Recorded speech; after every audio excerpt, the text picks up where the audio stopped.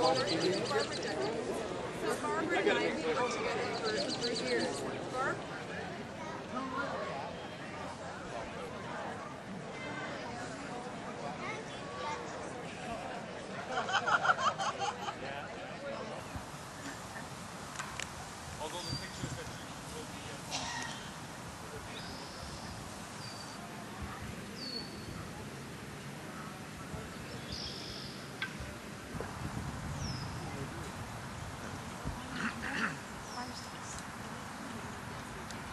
happy.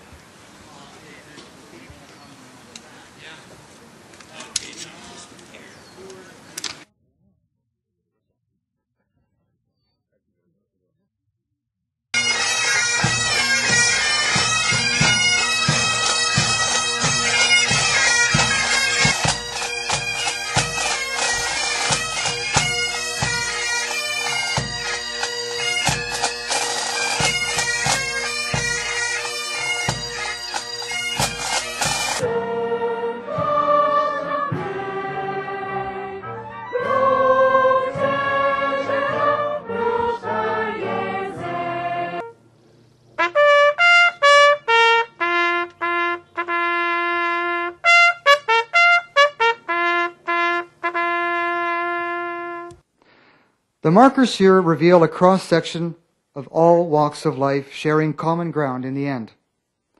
Many represent a century and a half of naval service that began with the Royal Navy and continued with the establishment of the Canadian Naval Service in 1910.